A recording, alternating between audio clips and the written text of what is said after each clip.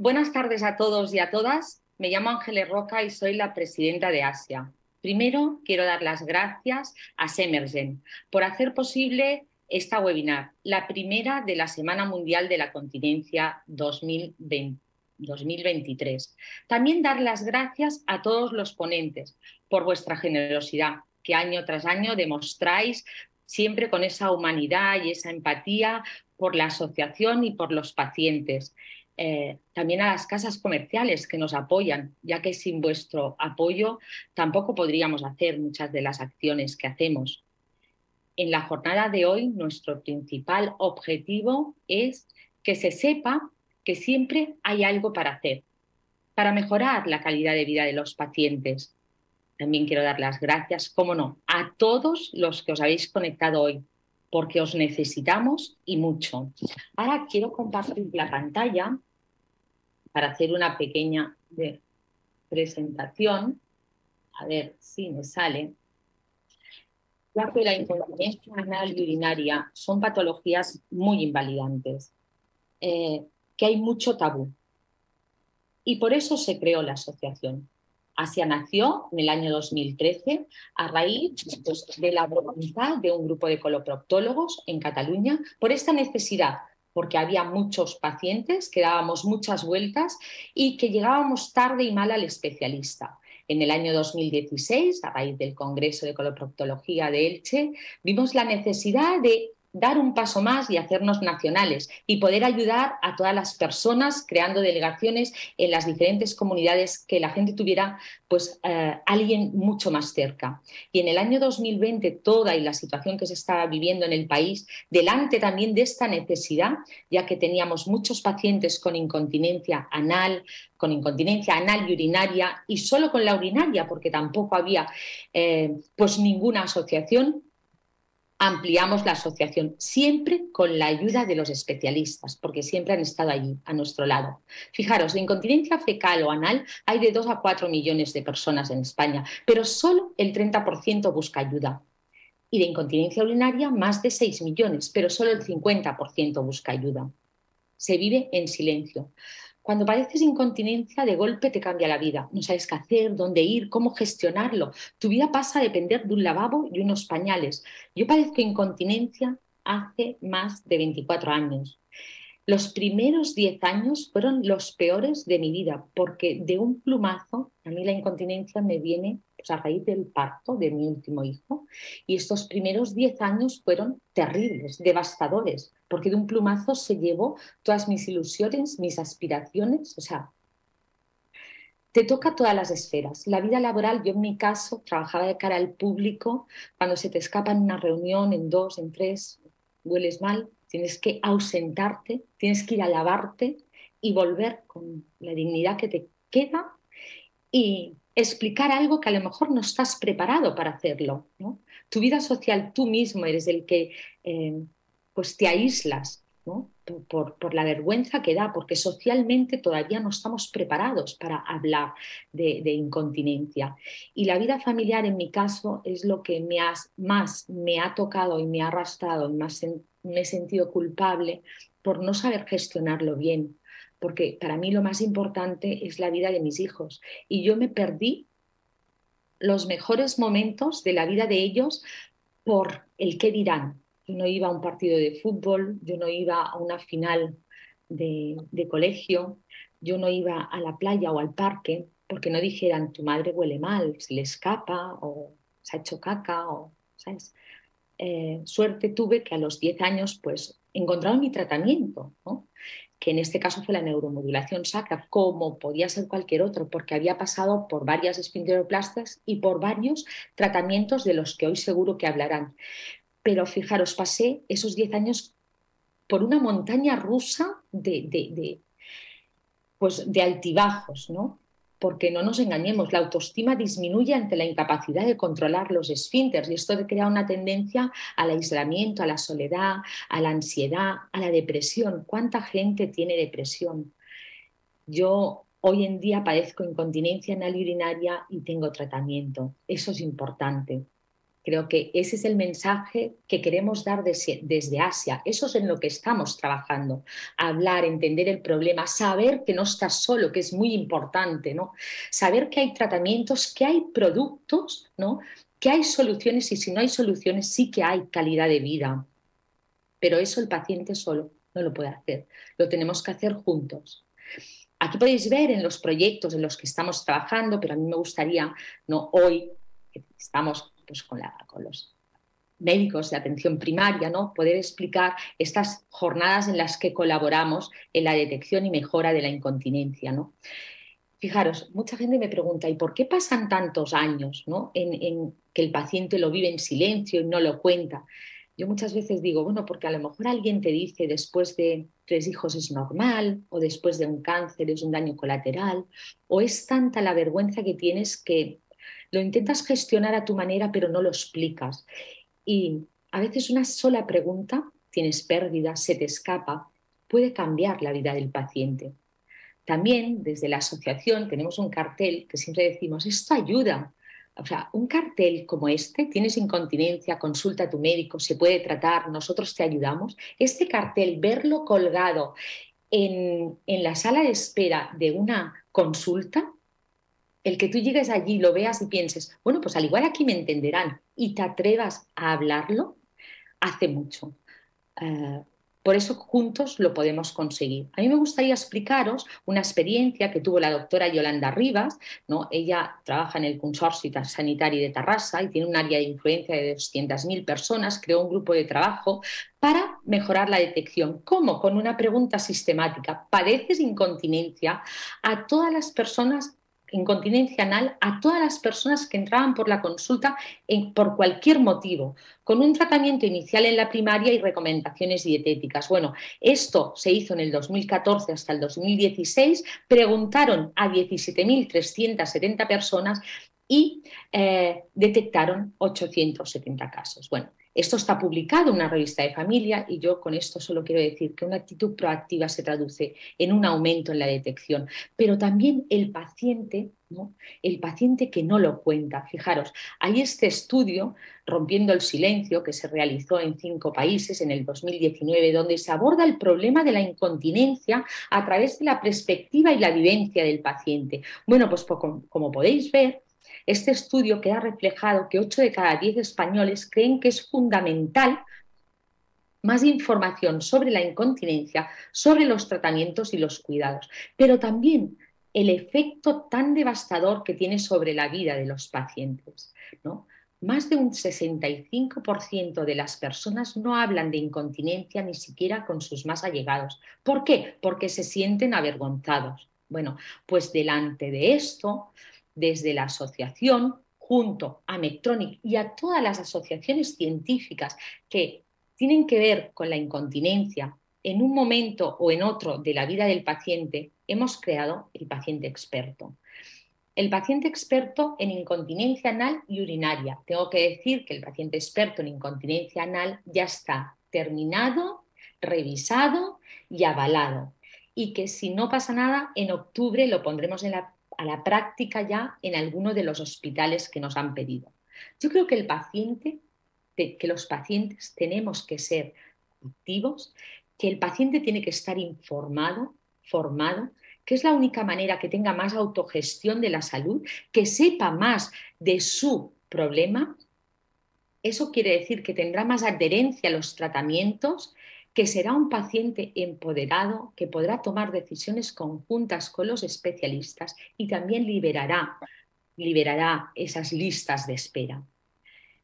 ¿Y qué hacemos desde Asia? Bueno, pues creo que Asia somos el nexo de unión entre pacientes y profesionales. Nosotros tenemos una gran suerte, siempre lo digo, de contar pues, con estos convenios de colaboración con las diferentes asociaciones científicas y juntos avanzamos por y para el paciente.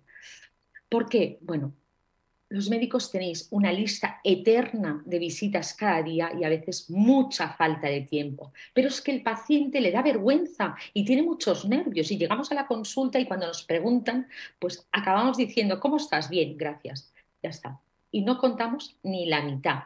Por eso siempre les decimos desde la asociación que sobre todo apunten, que expliquen, que la única manera de que nos ayuden es que sepan. ¿Cómo ayudamos? Bueno, tenemos un soporte telefónico 24/7, las 24 horas del día, los 7 días a la semana, porque la gente que padece incontinencia, como he dicho, a veces pues pasamos por muy malos momentos. También grupos de WhatsApp por comunidades, por pacientes y a veces por edades, porque sobre todo la juventud necesita otro tipo de ayuda. Formación, reuniones en los centros hospitalarios, centros cívicos y desde la pandemia también reuniones online. Tenemos la suerte de hacerlas también en muchos de los hospitales junto a los profesionales. ¿Y qué hablamos en estas reuniones? Bueno, pues todo aquello que no puedes hablar en otro foro, que te da vergüenza, que, te, te condiciona la vida, pero no te atreves a explicarlo. Porque mm, es muy difícil. También de los productos, ¿no? También porque nadie te habla de los productos, pero si tú se te escapa la caca o el pipi, tienes que cambiarte en algún lavabo que a lo mejor no está en condiciones, pues a lo mejor un pañal o otro te puede ir bien para llevar en esta mochila que llevamos con, toda la ropa de recambio, o un simple tapón anal o tapón vaginal con, con unas bragas o un bañador. Esto te deja poder ir con tus hijos al gimnasio, a la playa, donde sea. Esto, esto no cura, pero te da calidad de vida. Y también hablamos de la rehabilitación del suelo pélvico. Nadie habla del suelo pélvico y fíjate, es muy importante porque no se conoce y no se cuida. Y lo importante que es concienciar a la gente de educar, ejercitar y trabajar la rehabilitación. ¿Por qué? Porque el suelo pélvico eh, para nosotros es el todo. Y desde la asociación intentamos educar en esto. Y, cómo no, de la vida sexual. Cuando tú padeces incontinencia, es muy difícil hablar de este tema y hablarlo con alguien, pero te condiciona enormemente. Hay muchas separaciones a raíz de una incontinencia. Te da inseguridad, tienes baja autoestima. Por eso esa complicidad que crea la asociación y esa esperanza mientras encuentran tratamiento. ¿Y cómo nos podéis ayudar? Preguntando, siempre preguntando, porque sois los más cercanos, nos da más confianza. Venimos a vuestras consultas para todo. Si solo nos preguntáis, seguro que os vais a sorprender de la gente que no llega a contarlo. También dando información a los pacientes.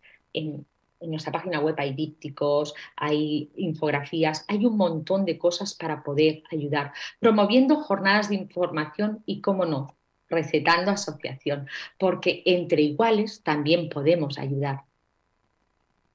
En la, bueno, eh, este año en, el Congreso Nacional de Coloproctología se presentó este libro para atención primaria de las 100 preguntas frecuentes sobre incontinencia fecal.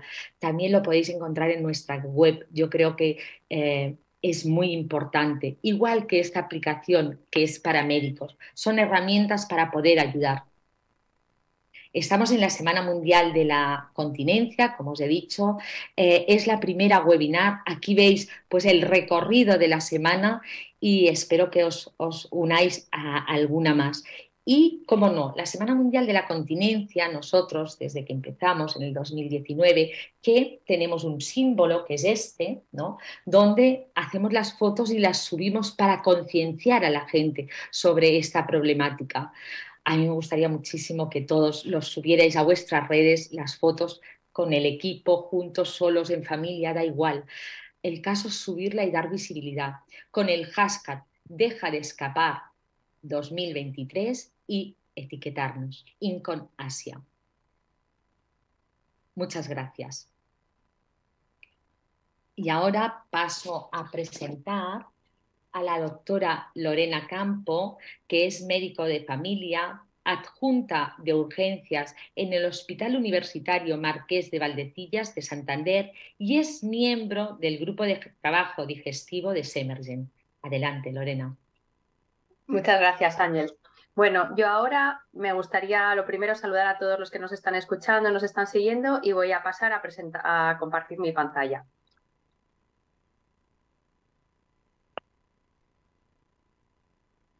Bueno, ¿qué tal lo veis?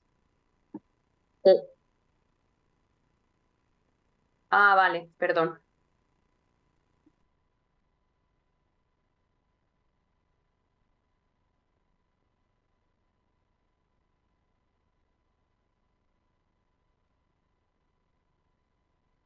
Eh, compartir pantalla. Ay, ay, ay.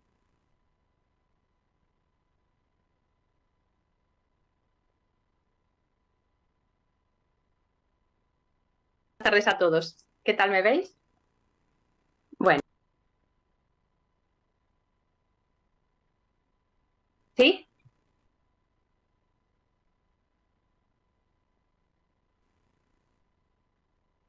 Antes me, antes me pasó lo mismo. Yo ahora no veo nada. Doy a escape. Voy a Zoom. Compartir pantalla. Compartir.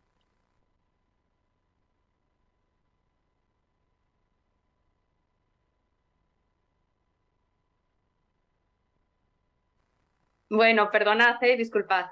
Bueno, en primer lugar, eh, aparte de presentarme, soy Lorena Campo. Eh, quiero agradecer la ayuda que me ha prestado mi compañera Noelia Fontanillas, también médico de, familia y coordinadora del grupo de trabajo de Semergen para la elaboración de estas diapositivas. ¿Vale? Pues vamos a empezar un poquito tratando el tema de la incontinencia anal desde el punto de vista de la atención primaria y cómo lo podemos manejar los médicos de familia. Eh, voy a estructurar la charla en estas partes. En principio vamos a hablar de la prevalencia, vamos a definirla, qué tipos hay, qué causas la producen y luego lo más importante, qué es lo que podemos ofertar a los pacientes y cómo podemos manejarlo desde atención primaria, con algo tan básico como la anamnesis, la exploración física y cuál va a ser el tratamiento básico que podemos ofertar desde nuestras consultas. Un poquito de reflexión, que ya antes lo ha comentado Ángels, es que la prevalencia real es desconocida porque hay mucho temor, pudor, vergüenza para expresar los pacientes este problema. Entonces se calcula que entre un 3 y un 21% de los pacientes mayores de 65 años la sufren. Y sobre todo si ya nos vamos a personas institucionalizadas, esta prevalencia puede subir al 50% y ya pacientes que están ingresados y con demencia puede ser incluso del 80%.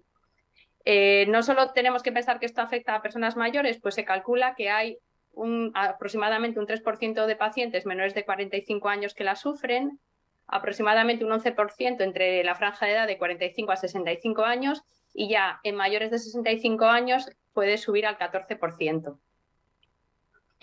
En principio, eh, ¿qué es la incontinencia de anal o fecal? Pues es la pérdida de la capacidad para controlar de forma voluntaria la retención o emisión del contenido del recto. Tenemos varios tipos. Puede ser pasiva, es, entonces se produce un paso involuntario de heces o gas sin, sin notar la necesidad o el reflejo defecatorio, por lo tanto se escapan. Puede haber también una incontinencia de urgencia, en este caso el paso de material fecal, aunque se realiza esfuerzo para retenerlo, pues no, no se puede llegar a contener. Y hay otros en los que lo que ocurre es que manchan la ropa interior. Tienen pequeñas cantidades de heces que se escapan de forma involuntaria y que manchan la, ropa sin darse cuenta. Pero además, esta gente también tiene otras evacuaciones que son voluntarias, combinan los, los dos tipos. ¿Cuáles son los mecanismos por los que se produce? Pues son múltiples. A veces existe eh, el, mecanismo del esfínter está conservado, entonces lo que ocurre es que puede haber una alteración en la consistencia de las heces que hace imposible su continencia, como ocurre en el síndrome de intestino irritable, en la enfermedad inflamatoria intestinal, en el síndrome de, intestino corto.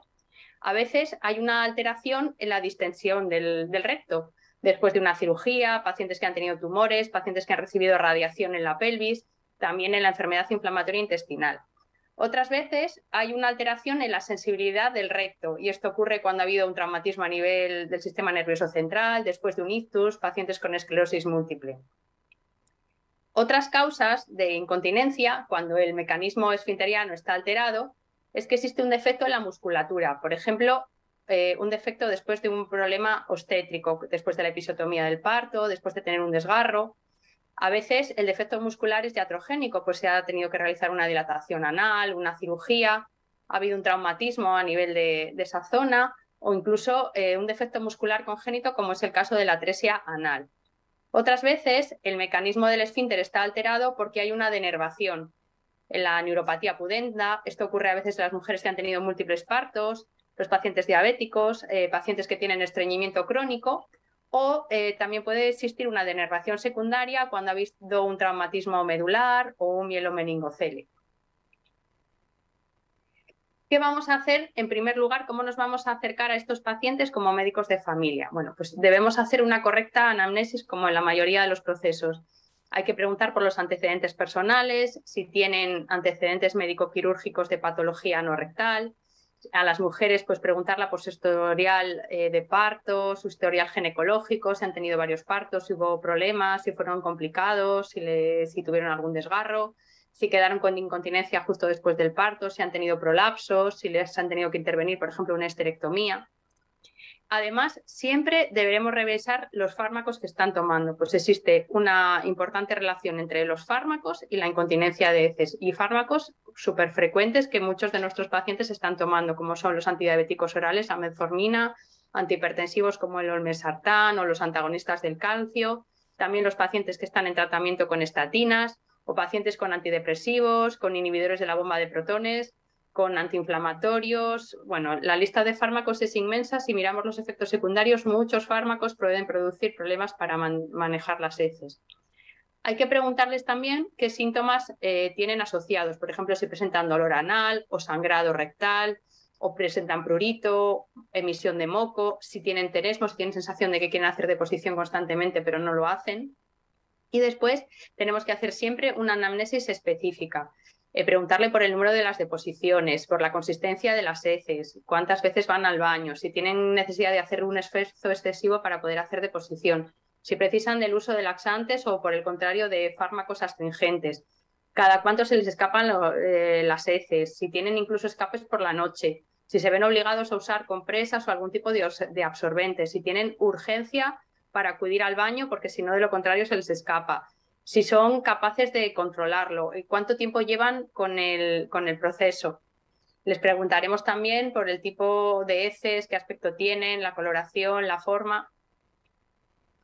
Y luego les animaremos a realizar un diario de fecatorio en el que van a recoger cuántas pérdidas involuntarias presentan, cuándo han tenido urgencia de fecatoria, si está relacionado con la toma de medicación, con qué alimentos y ver con qué frecuencia lo tienen, si nunca les ocurre, si es una vez al mes, una vez por semana y con eso iremos calculando. Esta escala puntúa de cero, que no hay ningún tipo de incontinencia, o sea, todo funciona perfectamente, hasta un máximo de 20 cuando existe una incontinencia completa.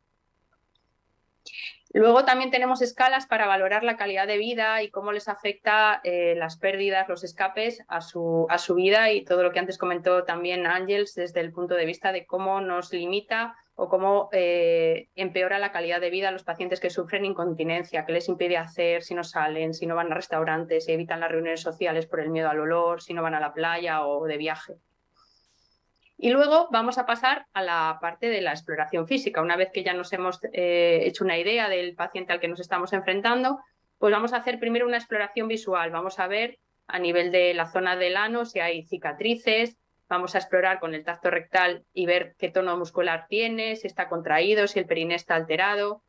Eh, haremos el tacto para comprobar si hay un fecaloma, para ver qué tamaño tiene el conducto anal, si presenta irregularidades, si hay un prolapso, hay un rectocele. En el tacto rectal, pues lo que os decía, las deformidades, si hay algún tipo de fisura, de fístula, hemorroides que prolapsen, si, es un ano que está muy distendido, que no tiene pliegues anales, eh, si hay manchado en la, ropa o si esta de mancha es de heces o es de moco, si existe daño en la piel de alrededor del ano, si hay una dermatitis, y le podemos pedir que haga maniobra de valsalva para ver si con este estímulo se produce la, defecación involuntaria o por el contrario si es capaz de, soportarla, de, de, contener las heces. No debemos olvidar que siempre hay que descartar una patología subyacente y por lo tanto eh, los pacientes que consultan o que detectamos que tienen incontinencia anal habrá que hacer estudio para descartar que no tengan una enfermedad inflamatoria intestinal, que no sean celíacos, que tengan un síndrome de intestino irritable, que haya un problema, por ejemplo, de malabsorción de la lactosa o de la fructosa, incluso tumoraciones.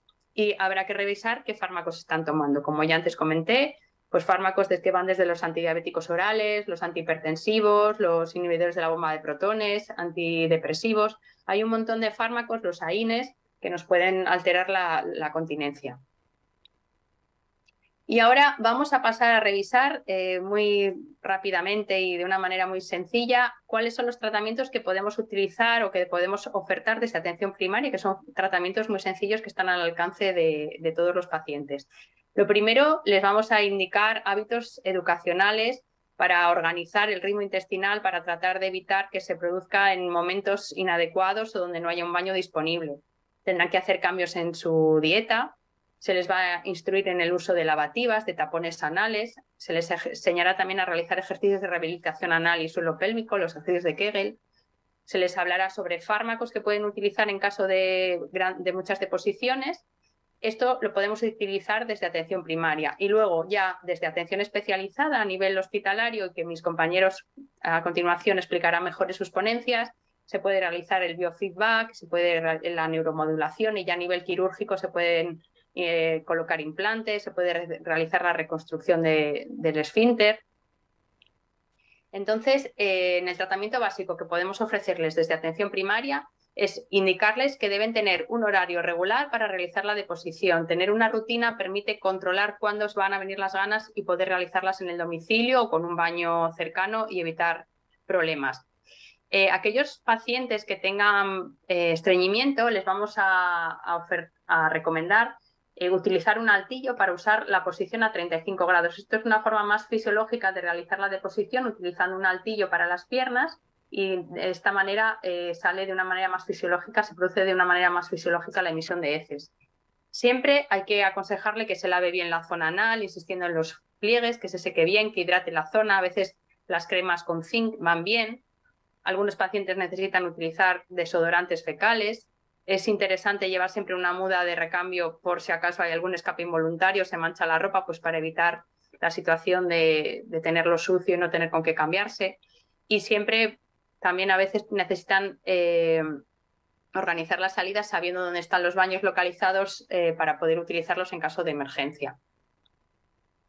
Eh, entre los tratamientos básicos existen obturadores o tapones anales. A veces es importante limpiar eh, lo que es la ampolla rectal antes de salir de casa mediante enemas o sistemas de irrigación, de manera que una vez que se ha desocupado la ampolla, pues se puede salir más tranquilamente porque sabes que no va a tener problemas de, urgencia para ir a un baño, de necesidad de buscar un baño. A veces se usan absorbentes, pañales y también es muy importante contactar con las asociaciones de pacientes que siempre entre ellos van a poder comentarse pues experiencias, trucos eh, van a ayudarse y sobre todo la importancia de no sentirse solo, de ver que hay más gente que está en la misma situación y, las ideas y cómo ellos llevan a cabo su vida diaria. Eh, es importante la alimentación. Hay que, cada paciente sabrá qué alimentos favorecen el que tenga más diarrea o que tenga más urgencia por ir al baño y también deben de conocer cuáles son los alimentos ricos en fibra. Deberán tener precaución con los alimentos que contienen mucha sorbitol, lactosa, también con el alcohol, con la cafeína, aquellos alimentos que están muy azucarados que pueden favorecer un rápido vaciamiento gástrico y por lo tanto una necesidad rápida de evacuar, los alimentos con mucha grasa, los edulcorantes artificiales, las especias. Habrá que tener cuidado con no realizar cambios en la dieta que puedan generar cambios eh, y producir diarreas o estreñimiento, cambiar el ritmo de las evacuaciones cuando ellos ya han conseguido regularlas y controlarlas de una manera para organizar las deposiciones. Habrá que ir añadiendo progresivamente fibra en la dieta. Aquellos pacientes en los que predomina el estreñimiento habrá que ablandar la materia fecal y aquellos pacientes en los que lo que más tienen es diarrea, pues tendrán que aumentar el volumen de, de las heces para con eso conseguir controlarlo y que no sean tan líquidas. Entonces, todo esto se realiza de una manera individualizada y progresiva. Es importante la ingesta de agua. Aquí os pongo un ejemplo de dieta de lo que entregamos en, mi hospital de referencia, Maldecilla, de los alimentos que pueden incorporar a su dieta para intentar evitar que haya momentos de estreñimiento o de diarrea excesivos. Y bueno, pues esta es una hoja que se les entrega a los pacientes como información, entre otras muchas. También es importante, os lo comentaba antes, los ejercicios de Kegel para rehabilitar el suelo pélvico, porque fortalecen la musculatura pélvica, eh, se realiza primero una contracción y luego una relajación durante tres segundos y se repiten unas diez veces. Y se le instruye al paciente para que esto lo vaya haciendo varias veces al día, pues en momentos en los que está tranquilo, eh, sentado, para conseguir con eso fortalecer la musculatura. y habrá que irlos aumentando progresivamente hasta conseguir tres series de 10 contracciones. Esto es un ejercicio que se puede realizar fácilmente y en, cualquier lugar. Eh, aquellos pacientes que eh, las medidas dietéticas, las medidas de ejercicios, eso no funciona, les podemos ofertar, ofertar medicación. En, en, los que predomina la incontinencia con además diarrea, podemos ofertarles loperamida entre 2 y 4 miligramos hasta cuatro veces al día con la idea de contener un poco esa diarrea. Se les puede ofertar tomar codeína como máximo 30 miligramos cada 8 horas. O en otros pacientes difenoxilato, atropina, colestiramina, amitriptilina 25 miligramos al día. Y aquellos pacientes en los que la incontinencia es predominantemente de gases, se les puede ofrecer la dimeticona o la lactasa. Otros pacientes, por el contrario, tienen incontinencia, pero además son muy estreñidos. Entonces a ellos les ofreceremos laxantes osmóticos como el macroglol y la lactulosa o laxantes estimulantes en aquellos en los que notan que hay un vaciado rectal incompleto. En estos casos se les ofertará supositorios, bien de bisacodilo, de glicerina. Y sobre todo ya para ir terminando mi, eh, mi ponencia, quería haceros una reflexión de qué es lo que podemos ofertar y qué es lo que podemos hacer desde atención primaria. En primer lugar, detectar a los pacientes que sufren incontinencia. Tenemos que recordar lo que os había comentado al principio, es una enfermedad muy prevalente, mm, con una mayor prevalencia de la que nos creemos, porque siempre está infradiagnosticada por ese pudor, por ese miedo a, comentarlo, porque es algo que causa vergüenza a los pacientes y no nos lo cuentan. Sin embargo, les limita mucho su calidad de vida y es importante detectarlo. Muchos tienen aislamiento social, depresión, ansiedad. Además, eh, crea una carga económica para la familia, para el sistema de salud y, sin embargo, existen soluciones que no tienen por qué ser complicadas. Por eso tenemos que ofertar siempre el tratamiento básico desde atención primaria y derivar a aquellos pacientes que no respondan a nuestros tratamientos iniciales. Ojo con aquellos pacientes añosos, con mujeres que han tenido varios partos, los pacientes diabéticos, pacientes que tienen antecedentes de cirugía ginecológica, obstétrica o proctológica, pacientes que ya tienen incontinencia urinaria, que igual eso les cuesta menos comentarlo, que se les escapa la orina, pero sin embargo deberíamos preguntarles, ¿y las heces puedes contenerlas o también se te escapan lo mismo que la orina?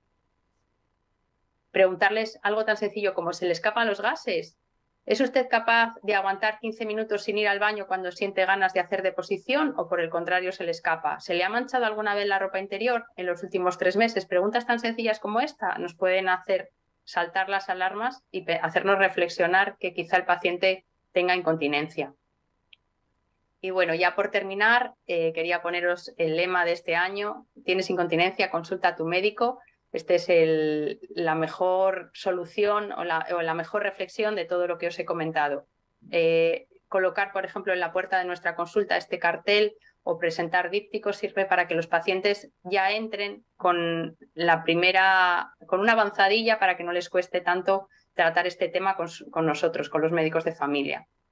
Quería volver a poneros el lema de este año de la Semana Mundial de la Continencia, eh, hablaros o reflexionar sobre todas las opciones que hay para contactar con los pacientes, con la asociación, con Asia, diferentes plataformas y diferentes eh, medios. Y nada, agradeceros a todos la oportunidad que, nos habéis dado a Semergen, eh, la oportunidad que me dais a mí como representante de presentaros este, esta pequeña introducción desde atención primaria. Y bueno, pues luego cualquier duda, cualquier pregunta que tengáis, me la podéis hacer. Muchas gracias. Muchas gracias, Lorena, por esta presentación. Y decir que, como tú has dicho, quien quiera hacer preguntas, las podéis ir colgando, que las responderemos al final. Y yo ahora voy a dar paso al doctor Alberto Parajo, jefe de servicio de cirugía general del Hospital Universitario de Pontevedra y presidente de la Asociación Española de Coloproctología. Adelante, Alberto. Hola Ángeles, buenas tardes y buenas tardes a todos. Es un placer estar aquí con vosotros intentando eh, pues, eh, poner un poco de luz y, un poco, como, como, decís, un poco de, de, salida, porque la hay para muchos de los pacientes. La verdad es que estoy compartiendo ya la pantalla, estaba intentando eh, situar este, este, esta semana tan fantástica que hacéis y os doy la, enhorabuena, eh, las gracias también porque trabajamos con pacientes y nos ayuda y, sobre todo por estos 10 años que vais a, cumplir eh, desde vuestro inicio. O sea que queda esta semana, es una semana muy importante. Eh, el, lema que teníamos en, alguna otra jornada me parecía muy oportuno, que es para el día de hoy, ¿no? La atención primaria, puerta de acceso a la solución para el paciente con incontinencia. Yo voy a intentar eh, mostrar algunas soluciones y, enfatizar la importancia que tiene la atención primaria eh, con la que intentamos colaborar siempre y siempre que nos lo piden. Em, desde la Asociación Española de Coloprotología, que ahora pues soy presidente, pero ya antes teníamos este curso para atención, digamos, un curso en atención primaria, coloprotología. Y aquí también tratamos la incontinencia. Os animo a todos a que entréis. Eh, podéis hacer este curso, es gratuito y creo que puede ser muy interesante eh, para todos. Luego tiene una, una jornada presencial que coincide con la sede de nuestro congreso. También desde, en mi caso, pues en Galicia tenemos un, grupo gallego en el que hemos hecho muchas cosas con atención primaria, nos hemos reunido, hemos aprendido mucho de los médicos de familia y con todos yo creo que al final el centro es el paciente, ¿no? Eh, entonces, mm, Lorena ya nos ha explicado los diferentes tipos de incontinencia. Yo solo quería recordar que estas, estas incontinencias, a veces un ensuciamiento, un pequeño soiling que llamamos, que puede parecer que tiene poca importancia, dependiendo de las características individuales, puede tener una mayor o menor eh, eh, influencia en la calidad de vida. Imaginemos un profesor de instituto con un escape de gases, un ensuciamiento y que huele mal, imaginaros lo que puede pasar. O un pianista, eh, la diferencia que puede ser en función de su trabajo y, a lo mejor pues una persona en el rural pues tiene menos problemas. Entonces, en realidad, yo quería deciros que esta, este síntoma, pues eh, la importancia que tiene depende de los pacientes, no solo de la gravedad en sí de la incontinencia. Y quería recordar algunos elementos de fisiología porque otro aspecto que a veces no pensamos es que la continencia es algo, la continencia anal es algo con lo que no nacemos, es una conducta que nos enseñan. Entonces, ¿Cómo aprendemos esta conducta? Pues básicamente porque el colon funciona con unas fuerzas propulsivas y el recto tiene una capacidad de adaptación al bolo fecal que nos va a permitir emitirlo cuando sea el momento social oportuno. Yo os pongo aquí un reflejo importante que es cuando llega este bolo fecal al recto y se produce la distensión rectal, eh, el sistema nervioso central detecta que hay algo ahí pero además se produce un reflejo rectoanal inhibitorio por el cual el esfínter anal interno se relaja, entonces el bolo fecal puede alcanzar la zona en donde hay terminaciones sensitivas del anodermo y esto nos permite averiguar si tenemos ahí heces sólidas, eh, líquidas o si son gases. Somos, es un mecanismo tan perfecto que a veces podemos expulsar un gas y retener el material fecal seguramente en este momento alguien pueda estar, eh, de los que nos escuchan, pueda estar experimentando este reflejo y en función del momento social puede decidir cerrar el esfínter externo y contraer y por lo tanto evitar la salida o bien eh, emitir el, gas o, las heces. ¿no?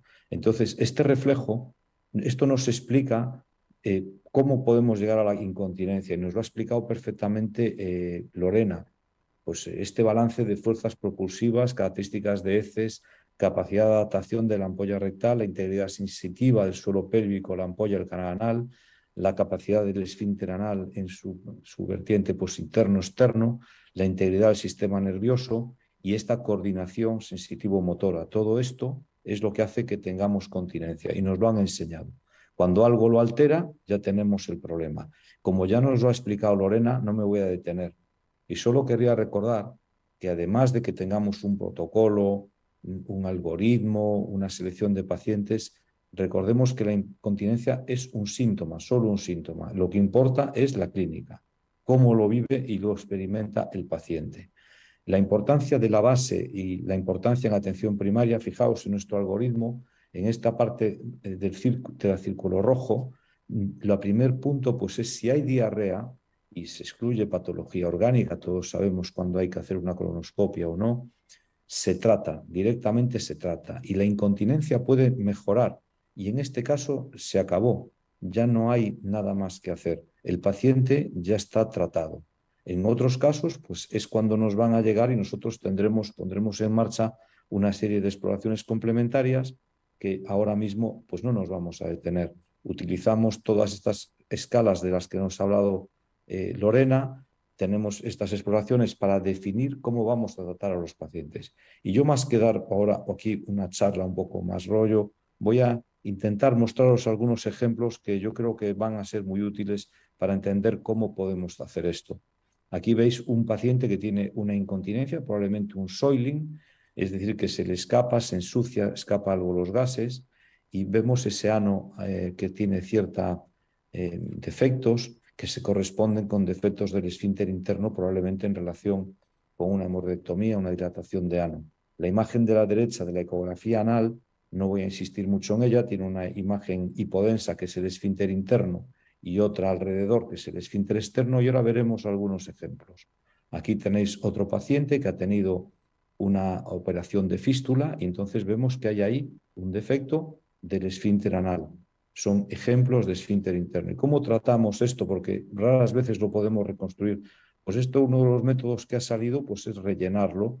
Pues si, si conseguimos que el, el, canal anal sea más grueso, es más difícil que se escape. Entonces podemos implantar unas sustancias que si viéramos una ecografía, pues serían ahí, en la zona del esfínter interno, y que dan volumen al ano. Entonces, pues como veis, la importancia del volumen también en la estética. ¿no? Eh, otras veces, cuando hay un trauma obstétrico, aquí os pongo algunos ejemplos de traumas y, la, la, cómo se producen los desgarros y cómo el aspecto que puede tener el ano después. Este es un ejemplo de un desgarro de cuarto grado en el que prácticamente la vagina y el ano pues forman una cloaca.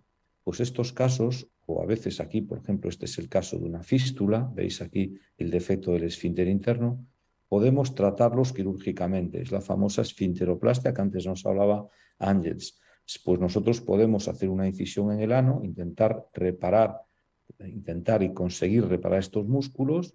Otra cosa es que funcionalmente esta reparación después sea más o menos eficaz. Pero es importante la restitución anatómica. Esto es un ejemplo, esto permitidme la, broma, esto está en una de las casas de cerca de donde yo vivo, y bueno, aquí se ve que la gente pues a esta parte de, de la vida le, le, da importancia, que lo pone en su, en su pórtico, ¿no? Para entrar en su casa.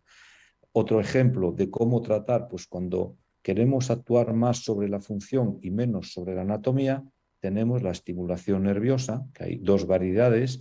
Aquí os muestro la neuromodulación de raíces sacras, que es uno de los tops, digamos, de, de eh, tecnológico que tenemos hoy tiene varias indicaciones aprobadas para el control urinario, control intestinal, sobre todo la incontinencia fecal. Y esto consiste básicamente en que de una forma mínimamente invasiva vamos a implantar un electrodo. Ese electrodo va a dar corrientes y eh, eh, ¿cómo lo hacemos? Pues lo hacemos normalmente con una fase de prueba. Entonces colocamos el electrodo en el foramen S3 y hacemos una fase de prueba. Si es exitosa, implantamos en una segunda fase el generador permanente, que es lo que tenéis en la derecha de la pantalla. El de la izquierda es un generador temporal que va externo como si fuera un holter y da corrientes de una forma para eh, hacer la prueba de, cómo funciona.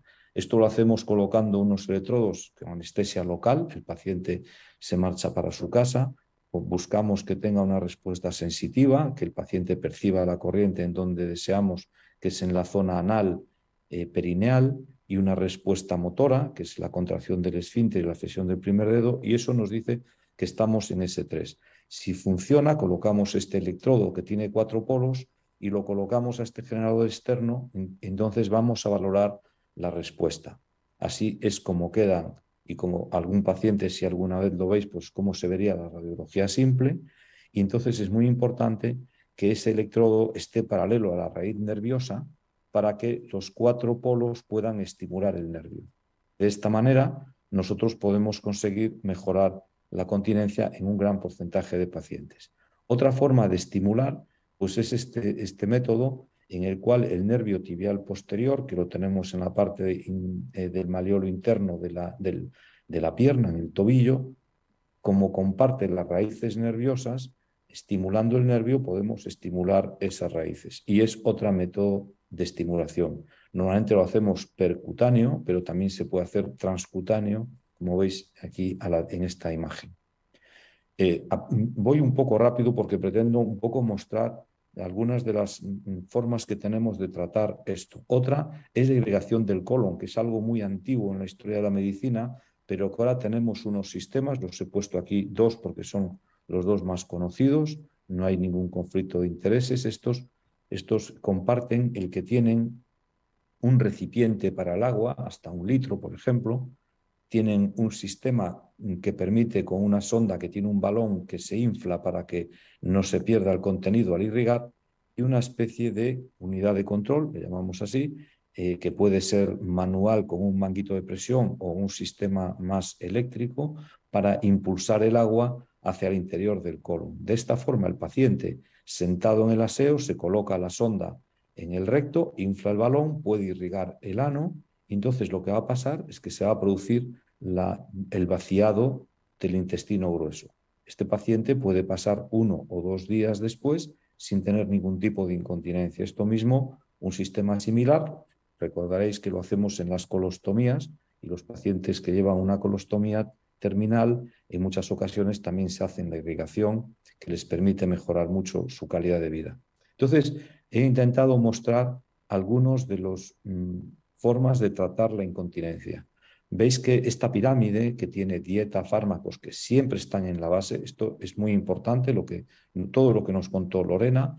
Y luego, más que una pirámide, cada paciente entra en, uno, en, alguno de estos de esos escalones, ¿no? La estimulación del tibial, el biofeedback, que no hemos hablado mucho de él, pero que es muy importante también, es algo parecido a la rehabilitación donde el paciente puede ver cómo realiza el ejercicio y cada vez mejora eh, la esfinteroplastia, la neuromodulación, hasta incluso la colostomía, ¿no? que sería el caso de aquellos pacientes que estuvieran muy sintomáticos y todo ha fracasado.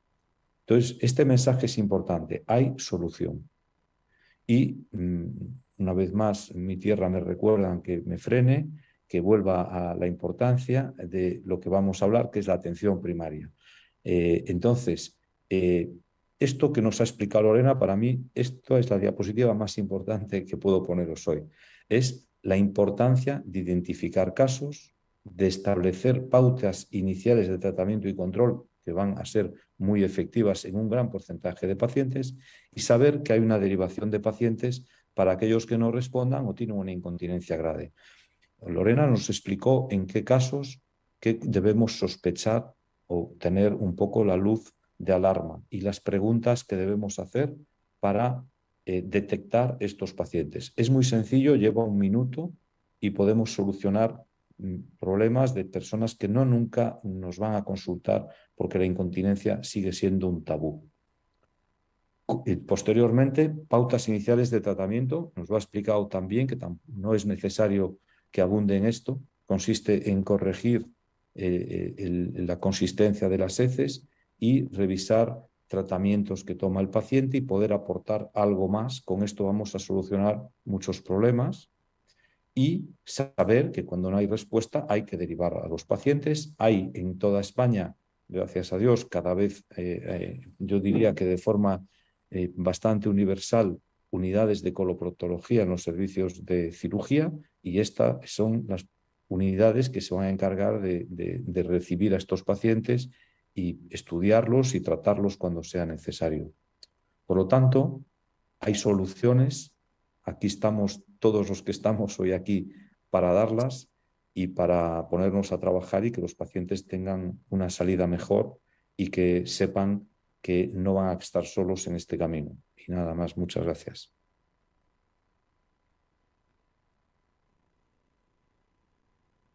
Muchas gracias, Alberto, doctor Carajó por, la presentación y ahora paso a presentar al doctor Pietro Moscatiello, urólogo de cirugía robótica del Hospital Universitario Moncloa y robótica en suelo pélvico del Hospital Rey Juan Carlos de Móstoles, Madrid. Adelante, Pietro. Hola, buenas tardes. Gracias por la invitación Asia. Eh, siempre un placer poder contar con vosotros. Como mis antecesores voy a eh, compartir pantalla y voy a intentar eh, explicar un poco lo que pensamos que se pueda aportar para que actividad primaria haya mm, más eh, selección. Evidentemente, hacer hincapié sobre que la incontinencia urinaria es la pérdida involuntaria de orina, es una enfermedad muy prevalente en la población, es eh, bastante más frecuente en las mujeres que en los hombres. Em, una de las dificultades principales posiblemente en la fase, dijimos, mm, con la cual encontramos un paciente con incontinencia, es comprender eh, qué tipo de incontinencia tiene. Es decir, que evidentemente la pérdida de orina es eh, evidente a todos, pero la grande dificultad que muchas veces nos encontramos es intentar etiquetarla, ¿no? porque las causas evidentemente son diferentes. Entonces, eh, la pérdida evidentemente por esfuerzos eh, nos llevará hacia una incontinencia de esfuerzo, mientras que el paciente que te define eh, la urgencia de tener que ir corriendo al baño eh, debería definir un paciente que sufre la que llamamos incontinencia urinaria de urgencia. evidentemente, todos los que somos médicos y nos ocupamos de incontinencia tenemos un poco este, este esquema que resume, digamos, los tres grandes eh, patrones, que son la incontinencia de esfuerzo de urgencia mixta. No siempre es tan eh, sencillo diferenciar una de la otra. Yo personalmente he tenido muchísimas veces dificultades con los pacientes. normalmente no puede ser un tema cultural, un tema de querer o no de poder comprender ciertas dificultades por conocimientos también. Entonces, eh, es fundamental, dijimos, tratarla porque eh, sabemos, eh, como ya nos han adelantado mis compañeros, las graves eh, consecuencias que la incontinencia, dijimos, suele tener sobre, sobre la gente, ¿no? modificando un poco los aspectos sociales, sexuales, psicológicos, causa mucho absenteísmo, luego es causa de incontinencia urinaria de ciertas comorbilidades que son bastante frecuentes, como por ejemplo las infecciones urinarias de repetición. Entonces, eh, muy importante, dijimos, seguir, intentar seguir un patrón eh, de tipo diagnóstico que nos permita acercarse a ella y dirigir el paciente hacia un tipo de, de incontinencia que otro. Eh, normalmente eso sería el esquema clásico de, de evaluación, ¿no? que parte de la anamnesis, el cuestionario, el examen físico y las diferentes pruebas. Entonces, en ámbito de incontinencia creo que sería importantísimo el utilizo de cuestionarios, um, porque el cuestionario que de autoevaluación eh, es aprobado por la Asociación Española de Urología, eh, testado sobre miles de pacientes, permite un poco definir el, el, tipo de paciente. Entonces, aquí el cuestionario te permite no solo cuantificar, decimos, la cantidad, sino la frecuencia y cuánto en teoría eh, la incontinencia afecta la calidad de vida del paciente, además que permite al paciente con una respuesta simples eh, intentar etiquetar una incontinencia de esfuerzo o una incontinencia de urgencia, que son, mm, aunque comparten el síntomas, son importantes en cuanto el signo, perdón, pero tienen síntomas diferentes y tienen tratamientos diferentes. Eh, otro tipo de mm, prueba clínica que mm, debería ser utilizada frecuentemente en consulta eh, posiblemente mm, sea el diario miccional. Eh, es una herramienta utilísima porque permite cuantificar, hacerse una idea, un panorama básico de qué cosa el paciente o lo que es la, la, vida, decimos, urinaria del paciente. Eh, normalmente se aconsejan por lo menos tres días. Y en el diario miccional el paciente reflejará eh, las, tanto las, eh, las, las micciones por horarios, por lo que apuntará a cada hora que va el volumen, nos podremos hacer una idea de los volúmenes urinarios, entonces saber que si tiene volúmenes pequeños tiene urgencia miccional porque tendrá que evacuar eh, frecuentemente. Por otro lado, volúmenes grandes asociados a altas ingestas alimentarias y líquidas, abordarnos siempre que la ingesta de agua y de líquidos no se asocia solo a la ingesta de agua, sino que los alimentos, la fruta, las verduras, ensaladas, los caldos, es una cosa muy común que las personas mayores te digan que por la noche se tienen ligeros.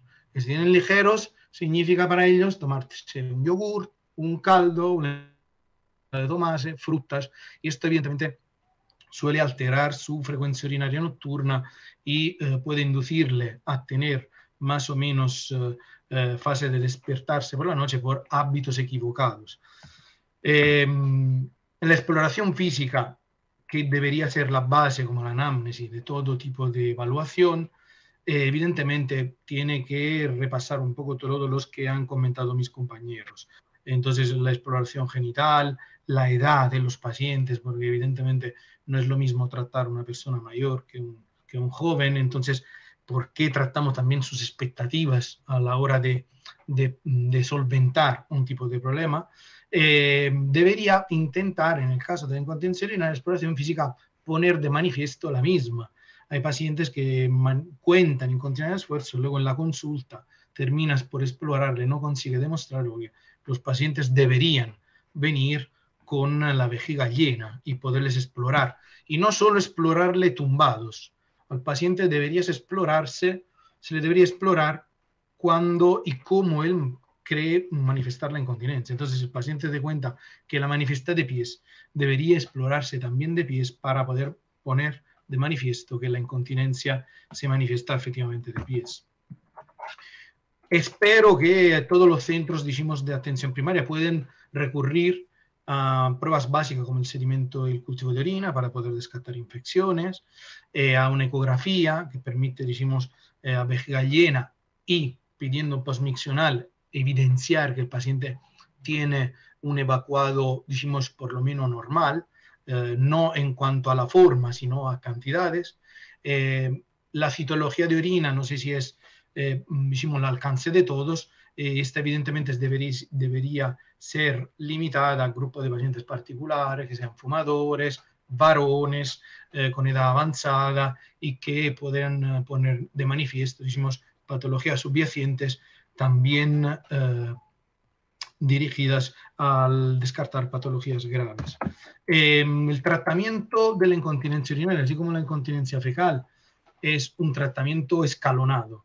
Entonces, yo creo que en primaria evidentemente las actuaciones que se pueden aportar a los pacientes son eh, fundamentalmente los primeros tres niveles, es decir, eh, posiblemente permitir un cambio de estilo de vida. Esto es tanto obvio en la incontinencia de urgencia como en la incontinencia urinaria de, de esfuerzo, eh, programas de rehabilitación que son válidos para ambos, conductas sobre la fase miccional, y luego hasta se pueden tranquilamente eh, iniciar tratamientos médicos orales.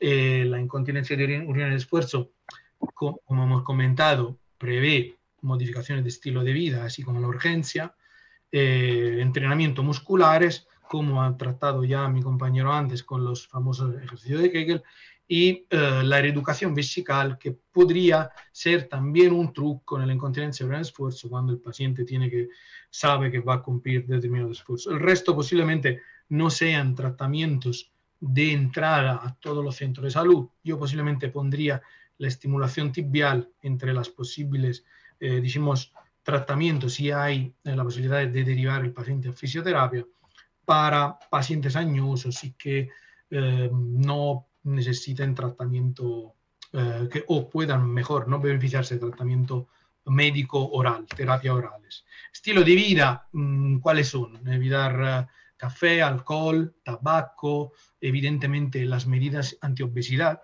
Hay muchísimos estudios que cuentan cómo la pérdida de peso eh, mejora la fase urinaria. Hasta en los varones hay estudios que demuestran que la pérdida de peso, la mejora de la dieta, un estilo de vida correcto es superior en cuanto a resultados a los tratamientos de puro tratamiento eh, farmacológico oral.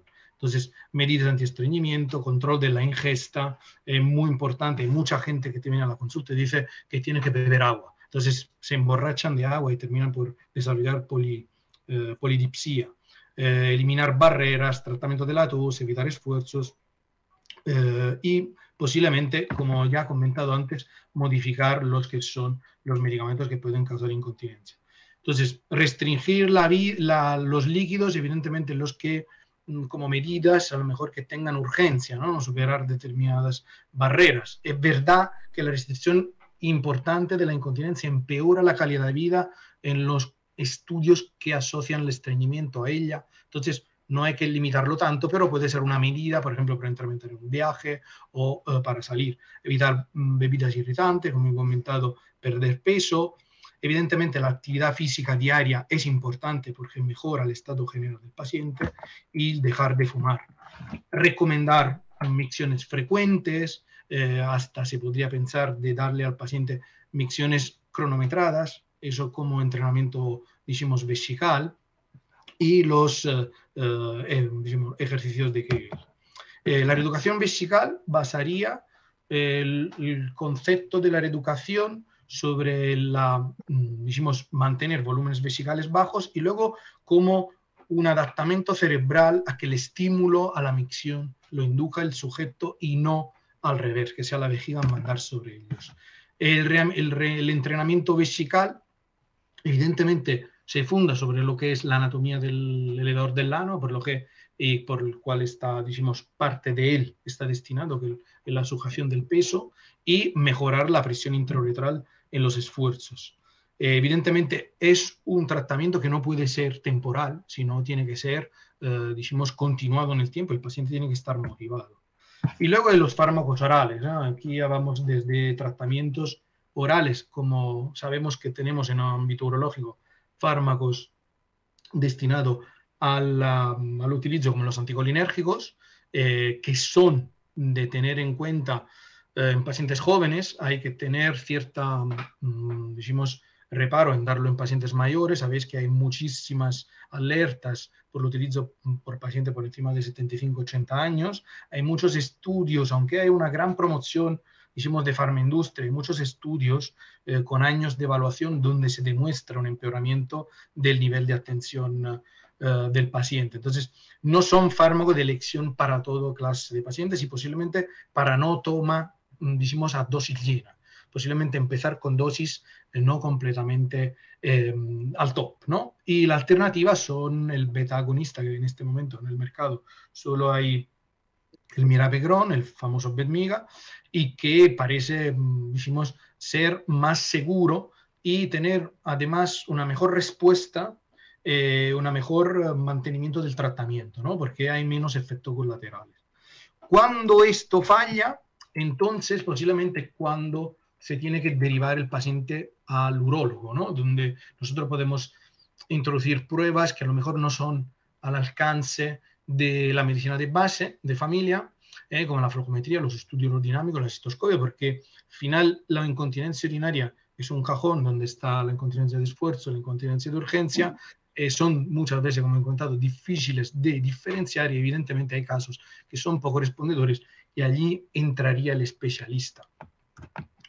Eh, nosotros, mm, evidentemente, además de mejorar y confirmar el diagnóstico, eh, tenemos al alcance mm, varios tratamientos eh, de línea superiores, ¿no? Que son conocidos un poco mm, y que ya se han comentado. Entonces, la neuroestimulación tibial, mm, personalmente, aunque esté en niveles altos, es un tratamiento completamente indolor, eh, exente de, de riesgos y que si hubiera la posibilidad de implantar en primaria en los pacientes añosos o los pacientes que lo requieran, sería un tratamiento eh, fenomenal, porque además es un tratamiento que ha demostrado eh, ser válido tanto si hecho en casa como en una consulta especializada.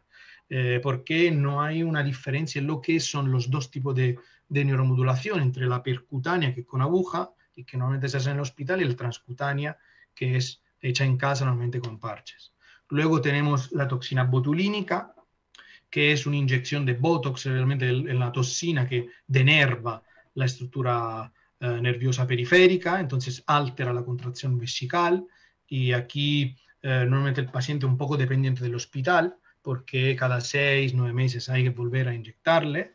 Y luego tenemos la neuromodulación sacra, que ya ha comentado mi compañero y que, sobre la cual no me voy a extender.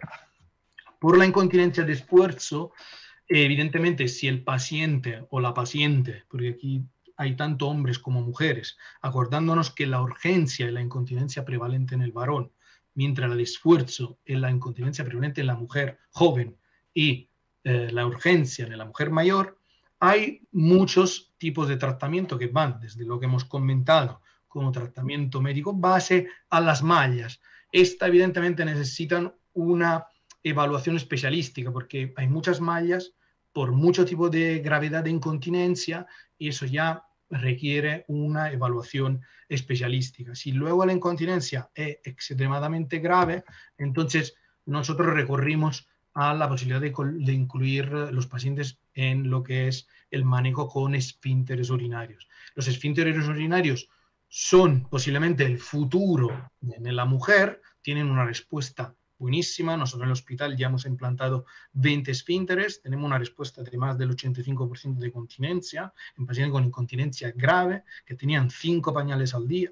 En el varón, aunque se venda como el gold standard, tiene ciertas limitaciones, porque una durada media de 5 años, el 20% de los pacientes se puede necesitar volver a intervenir por fallo del mecanismo o por eh, lesiones provocadas por el mismo esfínter. Por lo que hay muchos tratamientos, así como he comentado, también en la incontinencia de esfuerzo. Muy bien, mil gracias a todos. Lamento la extensión, me he tenido un minutillo más de los 15 minutos. Espero haber sido relativamente claro y que se haya podido aprovechar la, la, charla.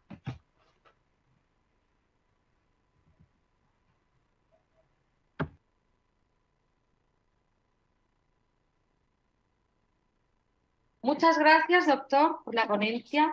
Y ahora paso a presentar a la doctora Monse Maciá, especialista en ginecología y obstetricia en el Hospital Universitario Arnau de Vilanova de Lleida. Adelante, Monse.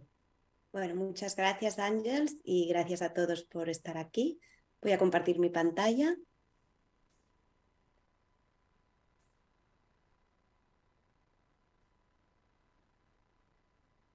¿Sí? ¿Se ve bien?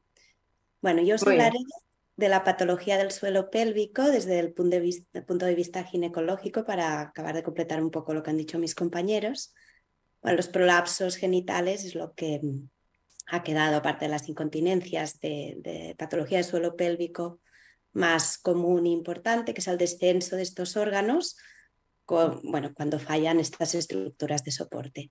Depende de dónde esté este fallo, puede haber un defecto a nivel apical, de prolapso uterino o de cúpula vaginal, o enterocele cuando ya no tenemos útero, o si es un prolapso anterior de cistocele, posterior rectocele, depende de, del compartimento prolapsado. Aquí, por ejemplo, vemos ejemplos de prolapso uterino, que es cuando el útero em, desciende por debajo de su nivel habitual. Hay diferentes grados, como después os mostraré. También aquí podemos ver eh, el corpocele anterior, es cuando mm, puede haber descenso de urotrocele o cistocele, que puede ser a nivel central o puede haber un defecto paravaginal. Depende lo que es la vagina, que está, está mm, suspendida, pues, eh, cogida como los en estos, el cursor, pero mm, depende de si hay el defecto lateral, vemos en, las imágenes de la derecha, cuando está liso es que a nivel lateral con el arco tendíneo está bien suspendido y cuando estos ligamentos está, hay una rotura o hay un descenso, vemos las arrugas, que hay un defecto también para vaginal. Esto es importante a nivel de qué tipo de corrección o de posibilidad de que pueda haber una recidiva a la cirugía y lo tenemos que valorar. Cuando se produce un, defecto a nivel posterior, pues tenemos un rectocele o un enterocele. Depende si prolapsa al recto o en ocasiones cuando son pacientes que han estado sometidas a una histerectomía, pues puede descender lo que es el intestino delgado con un enterocele. Cuando ya no tenemos útero, aparte de los compartimentos que hemos dicho, a nivel apical, pues puede descender lo que es la cúpula vaginal. Bueno, entonces esto depende de los niveles de Delancey, que es clásicamente como hemos valorado las estructuras de soporte. Tenemos el nivel 1, que sería eh, el complejo de los uterosacros cardinales, que es lo que el, defecto este apical y es el que intentamos corregir en casos, por ejemplo, de pues, prolapso apical de una histerectomía o de cúpula. Y después tenemos el nivel 2, que serían las inserciones laterales de la fascia purvocervical o rectovaginal a nivel posterior, el, lo que es el arco tendíneo. Y después el nivel 3 de Delansis, cuando falla lo que es el cuerpo perineal, y que es donde se, se inserta el elevador del ano, el pubis, y, entonces depende de qué nivel tenemos que corregir a nivel quirúrgico diferentes estructuras. Aquí las podemos ver un poco por los diferentes niveles, que depende de dónde hay el fallo, pues se prolapsa una estructura u otra. Muchas veces el fallo es, es común a más de una estructura.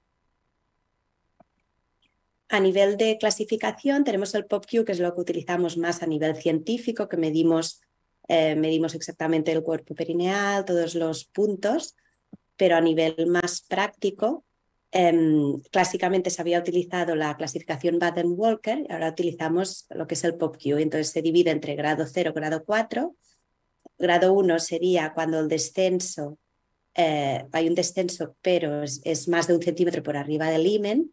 Y grado 2 sería cuando es un centímetro por encima del imen, un centímetro por debajo que es cuando a partir del grado 2 es cuando ya podemos indicar técnicas quirúrgicas porque este prolapso normalmente ya, ya puede ser más sintomático. Cuando ya es más de un centímetro por debajo del imen ya es grado 3 y el grado 4 cuando ya es una versión completa de estas estructuras. Aquí podemos ver los diferentes grados, depende de, de lo que descienda cada, pues cada compartimento. A nivel de la tiopatogenia de los, de los prolapsos, como ya han comentado, que son comunes con la incontinencia también, los factores predisponentes más importantes que tenemos, pues el parto vaginal es el factor principal, aunque no únicamente el embarazo por sí solo, aunque sea una cesárea, también influye en estos prolapsos, ya que todo el aumento de presión que hay, eh, la distensión que se produce a nivel de los nervios, a nivel de los músculos, pues es un factor importante para, para que pueda existir patología del suelo pélvico.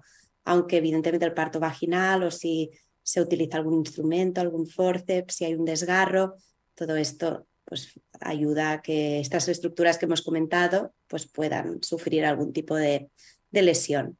La edad también sería importante, ya que la disminución de estrógenos, por ejemplo, con la menopausia, hace que estos ligamentos se relajen lo que es el útero y sus estructuras se pueden atrofiar y también predispone a que pase. También hay pacientes que tienen un déficit congénito de, estos sistemas de fijación, la fascia endopélvica, los ligamentos uterosacros, cardinales, que son todas las estructuras que ayudan a, prevenir que, que, pueda haber este tipo de patología. Y después también pacientes que hayan sido sometidas a cirugías ginecológicas o a radioterapia, que, también predisponen. Por ejemplo, el enterocele, pues cuando ha habido una histerectomía previa, esto es lo que la causa más frecuente que puede haber un enterocele a nivel posterior. Después tenemos otros factores desencadenantes, como puede ser aumento de la presión intraabdominal, pues pacientes que tosen crónicamente, pacientes fumadores, con asma, pacientes que sufren un estreñimiento crónico, la obesidad, eh, los pacientes que realizan muchos esfuerzos físicos, tanto sea laboral como deportes de impacto, gente que carga muchos pesos de forma crónica también puede influir, pacientes que tengan algún tipo de tumoración abdominal que aumente la presión, pacientes con ascitis, todos son factores que pueden aumentar esta presión y favorecer. A nivel de la clínica que tienen estas pacientes, pues muchas veces puede haber un dolor a nivel de hipogástrico, una sensación de peso que, que notan como genitales eh, ocupados, una sensación diferente, también pueden eh, producir problemas de, tanto de incontinencia urinaria como de disfunciones de vaciado. Y también a nivel defecatorio, pues tanto de incontinencia como dificultad defecatoria. Y también a veces, si este prolapso está exteriorizado, puede haber úlceras, erosiones, sangrados, eh, hipertrofia de estos tejidos que están en un externamente. A nivel del diagnóstico, un poco como os han explicado mis compañeros, pero más centrados pues, en lo que sería el prolapso, también evidentemente la anamnesis muy importante, todo lo que son los antecedentes, factores de riesgo y cualquier síntoma específico, tratamientos que hayan podido hacer. La exploración muy importante, como veis en estas imágenes, a veces externamente es muy difícil saber si el que está prolapsado es el compartimento apical, anterior o posterior, y entonces nosotros siempre em, exploramos en posición de lidotomía eh, y en valsalva con un espéculo desarticulado, que si reducimos el compartimento que, cada compartimento para poder ver exactamente cuál es el que pueda ser prolapsado o si es más de uno y también el grado de este. También hacemos el test de esfuerzo para, para, para ver eh, con el prolapso reducido o, o con el prolapso sin reducir para evaluar una incontinencia urinaria de esfuerzo o una incontinencia oculta, que a veces cuando tiene el prolapso no hay la incontinencia y cuando lo reducimos, que es lo que haremos en la cirugía, entonces aparece la oculta. También valoramos cualquier eh, cicatriz de, bueno, de episiotomías o de descarros que haya podido haber a nivel también neurológico, de sensibilidad. Y también nosotros siempre, como disponemos siempre de los ecógrafos en la consulta al ginecólogo, siempre realizamos una ecografía ginecológica y en estos últimos años también incorporamos transperineal y nos ayuda a valorar, aparte del compartimento que desciende, porque lo podemos ver, otras cosas, residuo posmiccional, podemos ver la hipermovilidad uretral, podemos ver varias cosas que nos ayudan a acabar de valorar la paciente. Y también hacemos siempre evaluación de lo que es el tono, la contractilidad de, la musculatura del suelo pélvico, asimetrías que puede haber en el músculo elevador del ano, y siempre lo evaluamos también. Bueno, lo que hemos comentado, la ecografía que, que la estamos utilizando en nuestras consultas habituales, transperineal miramos pues, el control orina residual, que esto, por ejemplo, es útil para las pacientes que pueden ir a hacer tibial posterior con los fisioterapeutas, eh, pues el grado de hipermovilidad para valorar qué tipo de cirugía de incontinencia podemos hacer, el grosor de la pared vesical, defectos ocultos que pueda haber. Podemos valorar también el músculo elevador del ano, si ha habido una abulsión, si hay un ballooning, y también podemos valorar el esfínter anal, el interno, el externo. Podemos hacer una primera evaluación. Entonces, a nivel de tratamiento, tenemos los eh, tratamientos quirúrgicos, que no únicamente depende del grado de prolapso, sino que, mm, bueno, muy importante como en todos los pacientes siempre, los síntomas que a los pacientes les da. Y entonces las técnicas dependen del tipo de prolapso. La cirugía clásicamente más utilizada sería la, la histerectomía vaginal o las plastias, tanto anterior o posterior, combinadas, depende del tipo de prolapso que haya. Y después también tenemos a nivel laparoscópico, robótico, eh, la colposacropexia o cervicosacropexia, o depende si conservamos el útero o, hacemos desde el cervix o, la vagina, que ponemos una malla y, lo unimos a lo que es el al sacro.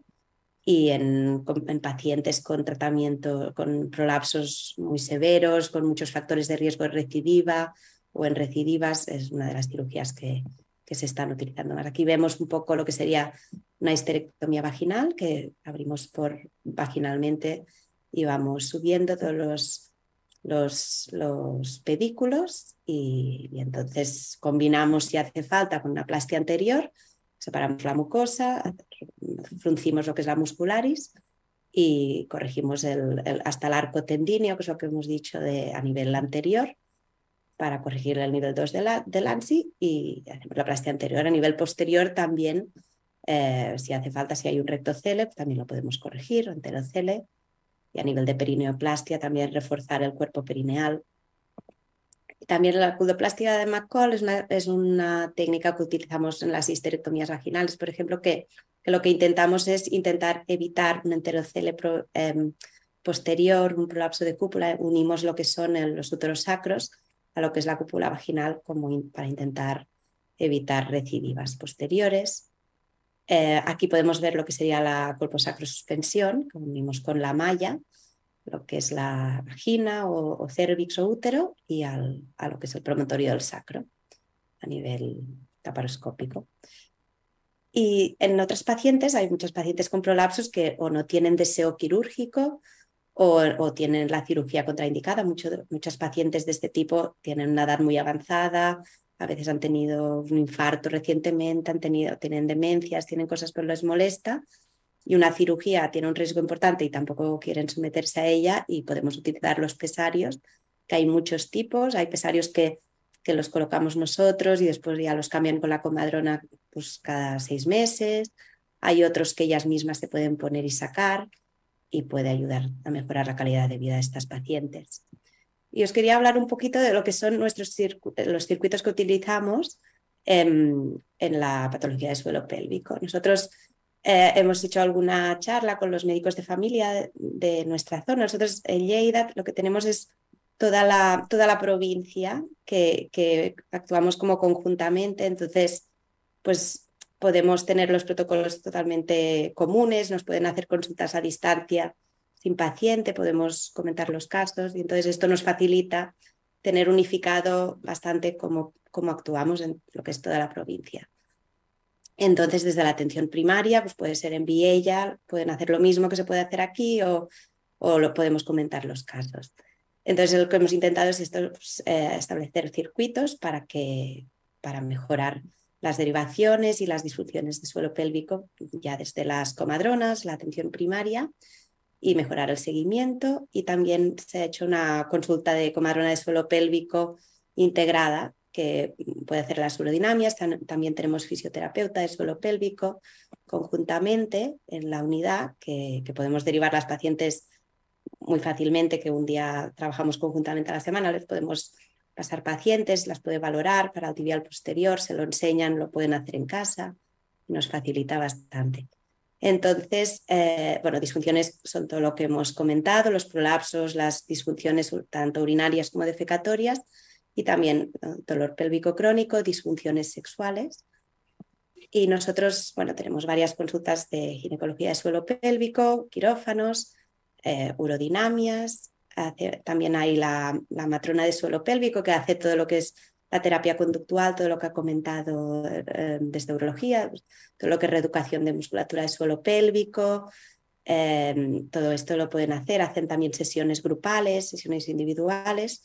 Y, y bueno, también hay las consultas de fisioterapia suelo pélvico, hay algunas que las hacemos conjuntamente, bueno, al lado, o sea que podemos ver pacientes comúnmente y después ellos ya pues pautan los tratamientos fisioterápicos que necesiten las pacientes. Y también hacemos unos comités de suelo pélvico que hacemos cada dos semanas, donde estamos los ginecólogos, la matrona de suelo pélvico, fisioterapeuta, los proctólogos, eh, urología, la enfermera de urología que también hacen las urodinamias las hacemos o, los ginecólogos o los urólogos, y, lo que es también la clínica del dolor, los anestesistas. Entonces, un poco nuestro circuito sería pues de, desde atención primaria, cuando o el médico de cabecera o la comadrona detectan este tipo de patología, normalmente el, cabecera em, puede hacernos una consulta a distancia sin paciente con nosotros para comentar si hay un prolapso importante, cualquier cosa, entonces ya, ya la derivamos. O si hay incontinencias, de entrada derivan siempre a la matrona. Entonces la matrona es quien le pasa el diario miccional, los textos, los cuestionarios de incontinencia, urinaria o anal o lo que, lo que sea. Y entonces ya con todo esto ya la deriva la matrona de suelo pélvico, donde ya puede empezar lo que es la reeducación vesical, todo lo que es los Kegel, los ejercicios, lo que haga falta. Y ya si, después eh, no es suficiente, necesita algún tipo de tratamiento, pues ya directamente nos derivan a nosotros. Y esto es más o menos el sistema que hay en, todo, en, toda la provincia. Entonces la, matrona lo que hace, pues la, después de la valoración, la de suelo pélvico, es la que hace los ejercicios con supervisión, todo lo que es el seguimiento, la terapia conductual y también tratan los dolores perineales postparto, dolores, relaciones sexuales, episiotomías que duelan. Después también los prolapsos, cuando es un grado 1 o 2, menos un grado 2, si, tanto si es sintomático o sintomático, o un prolapso 2 que la mujer no quiera ser tratada, también la ven las matronas inicialmente, donde hacen pues, todas las medidas higiénico-dietéticas, la reeducación, y ya si es un prolapso sintomático mayor de 2, si desea tratamiento, pues ya nos lo derivan a nosotros. Una consulta a distancia sin paciente que lo valoramos y ya la citamos donde haga falta. Y bueno, hacemos todo lo que hemos dicho, de anamnesis, clasificación y, y tanto si quiere tratamiento quirúrgico, conservador compensario o rehabilitación, que entonces ya pues, a través de la matrona o fisioterapeuta. A nivel de cuando son pacientes con incontinencia urinarias, vejigas hiperactivas, con cualquiera de los síntomas que os han explicado antes, pues también hacemos todo lo que son los cuestionarios que ya le ha dado la matrona de, de ICQ, todos los cuestionarios que se dan en la consulta, también de incontinencia anal si la tienen, el diario miccional y ya, em, si, bueno, siempre si tiene incontinencia, pues primero descartamos también un, sedimento, que no haya una hematuria, que no haya una infección. Eh, si la tiene, pues primero tratemos esto. Y, lo que hemos dicho, todo lo que es la anamnesis, la calidad de vida, si desea tratamiento. Y, em, y, eso, y todo lo se deriva a lo que es la matrona de la SIR. Si ya son incontinencias complejas, hematurias, eh, dificultad de vaciado, incontinencias más neurógenas o que tengan cualquier cirugía y adherir directamente a ginecología. Pero si no tienen todo esto, inicialmente pues hacen todo lo que es la reeducación, el Skegel, y, y entonces si no mejoran también es cuando nos la derivan. Em, bueno, esto un poco es lo mismo que hemos dicho, los casos en los que los vemos unos u otros. Y a nivel de dolor pélvico, también si es un dolor pélvico posparto, pues la matrona es quien valora y hace la terapia manual no invasiva. Los dolores pélvicos que no son de posparto, sí que los valoramos siempre en la consulta de suelo pélvico y entonces ya hacemos el protocolo que haga falta, depende de las causas o a nivel de fisioterapia, los anestesistas clínicos del dolor, lo que haga falta. A nivel de incontinencia anal, lo mismo con los test y derivamos a la consulta de, de proctología, comentamos en el comité. A nivel de disfunciones sexuales, tenemos una matrona que es sexóloga también y le podemos derivar los casos y comentarlos de mujeres y hombres, en nuestro caso las mujeres. Y mm, desde a nivel de desde los ASIRS, lo que se hace de actividad preventiva, en las visitas ginecológicas se intenta preguntar siempre sobre incontinencia urinaria, anal, y eh, también durante el embarazo y el posparto. A nivel del embarazo, siempre a las 17, 18 semanas, se pasan lo que es el ICQ, la anamnesis para identificar factores de riesgo, antecedentes, se hace exploración, se hace para ver el, Oxford de la paciente, se le explica lo que es los hábitos saludables, la, la, reeducación de los ejercicios de suelo pélvico. Y, y, entonces, pues depende, si no tiene factores de riesgo ni antecedentes, pues se hace seguimiento en cada trimestre del embarazo y se le insiste en, en todo esto. Y también hay grupos de, mm, bueno, si no presenta, hay grupos de suelo pélvico que se puede, que se puede apuntar la señora. Y, en los otros pues se intenta, si hay más antecedentes, más factores de riesgo, se intenta pues que pueda hacer er, ejercicios de suelo pélvico de forma individual hasta aprenderlos bien y bien controlados y después también a nivel grupal. A las visitas posparto también se pregunta, la primera visita posparto, y sobre incontinencia, tanto anal como urinaria. Se valoran las lesiones que puede haber habido en el parto, de episiotomía o de desgarros. Eh, em, bueno, y entonces todas las pacientes, los consejos higiénico-posturales referentes a la protección para que lo cuiden aconsejar también todo lo que es el trabajo, la faca abdominal, diafragma y suelo pélvico. En los pacientes que hayan tenido desgarro grado 3 o 4, en estas hay un protocolo específico, que estas sí que todas se derivan también a proctología para la econdonal, la fisioterapia, pues esto es un caso aparte.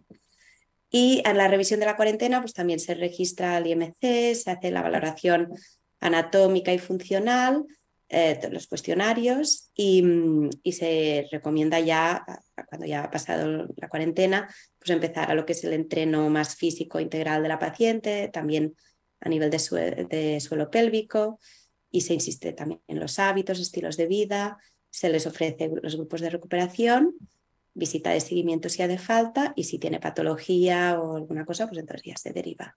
Donde haga falta, se les da siempre lo que es los consejos de los ejercicios, del, del, entrenamiento de la vejiga y ya está. Esto sería más o menos lo que hacemos. Muchas gracias.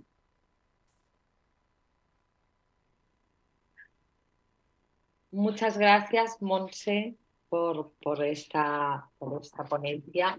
Y yo te quería decir, Lorena, tú como médico de familia, eh, ¿qué nos ha quedado por decir hoy? ¿Qué nos ha quedado por preguntar? Bueno, eh, yo creo que han sido todas las presentaciones muy claras, muy específicas. Eh, yo creo, sobre todo, hacer hincapié en también por parte de los profesionales vencer el miedo o el reparo a preguntarle abiertamente a un paciente ¿Tienes problemas de incontinencia? ¿Se te escapa la orina? ¿Se te escapa la deposición? Lo mismo que preguntamos por la orina con total naturalidad, vencer el pudor que hay por las dos partes, tanto del paciente como del profesional sanitario, para preguntarlo. Y de ahí es de donde surge eh, la idea y lo que queríamos implantar a partir de esta semana de incontinencia, es eh, ese, ese camino, esa ruta que vamos a, establecer con, con compañeros de atención primaria para implantar esta pregunta en nuestra anamnesis, sobre todo en pacientes en los que sospechamos que, puede existir, pues por algo, porque hemos visto que nos preguntan sobre eh, materiales, eh, pañales, o porque nos piden consejos sobre fármacos antidiarreicos, o pues porque igual hasta incluso se nota al entrar en la consulta por el, por el olor o por algo que hemos notado, vencer por parte de todos el miedo a preguntar y establecer una ruta, un camino para detectar la incontinencia y así poder hacer una valoración de los pacientes y poder ofrecerles ayuda. Porque soluciones existen, lo que pasa que si no, lo que no se diagnostica, no se ve, pues no existe. Y, y esa es, yo creo, lo que, lo que nos queda por comentar y por hacer más hincapié y que sirviera como reflexión de todo lo que hemos comentado.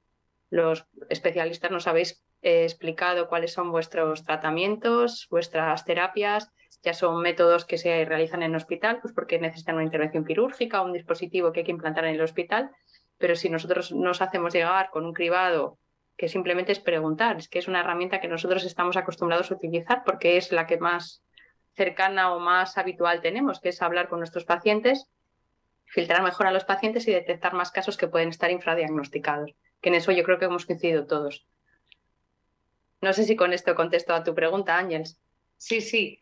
Bueno, con esto y pues, el día 26 ella viene la empezado a explicar. El día 26, el lunes de la semana que viene, haremos una webinar que, eh, donde explicaremos un poco esta hoja de ruta en atención primaria que vamos a empezar juntos.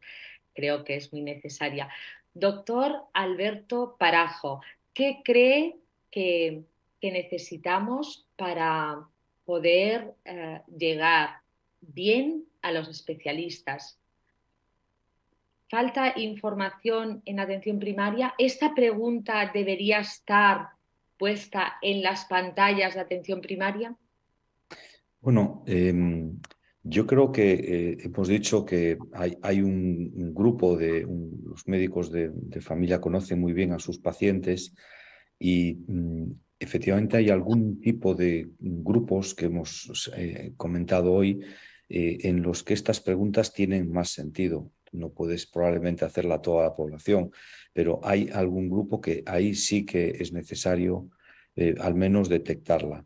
Porque una cosa que es muy importante que, que se ha dicho, pero que debemos remarcar, es que es todavía muy pocos pacientes consultan.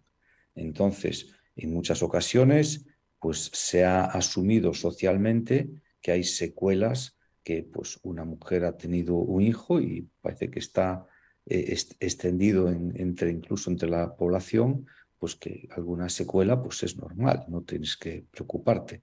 Alguna secuela puede ser normal pero alguna no es nada normal y sobre todo hay tratamientos que van a mejorar la calidad de vida y, esto es importante recordarlo. Y luego hay otro aspecto que, algunas veces hemos comentado y es que hace años, vamos a decir, pues yo no voy a decir una cifra, pero probablemente entre 15, 20, el ejercicio profesional de muchas personas, eh, eh, efectivamente en muchos sitios, muchas zonas geográficas, no había especialistas capaces probablemente de tratar la incontinencia anal. entonces era algo también limitado eh, geográficamente, igual que en España, en otras partes del mundo. Esto ha cambiado radicalmente en los últimos años y las unidades, igual que la urología, pues en coloproctología, pues ha habido un gran cambio. Entonces, hoy es accesible. Puede ser que alguna zona pues no disponga de especialistas, pero probablemente ellos mismos sabrán a dónde derivar los pacientes. Entonces, yo creo que esta, este, esta, el dar esta visibilidad y aquí, pues una vez más, eh, reconozco el, trabajo que, hacéis desde, Asia. Eh, la verdad, pues yo creo que esto es muy importante y creo que se está conociendo cada vez más. Entonces yo creo que sí estamos en el buen camino, queda mucho trabajo por hacer, pero creo que sí estamos en un camino que se está afianzando en, muchos sitios. Me decía Lorena al principio de, estas reuniones para crear, o sea, para hacer esta webinar, me decía lo, mucho que había aprendido, lo mucho que le había motivado, ¿no? La primera jornada que hizo, eh, ver la cercanía, ¿no? De, la especializada a la primaria. Lorena, ¿tú crees que los médicos de atención primaria tienen miedo a preguntar, a lo mejor por, no saber? Eh, Luego, no tener esa cercanía con, la especializada, por ejemplo.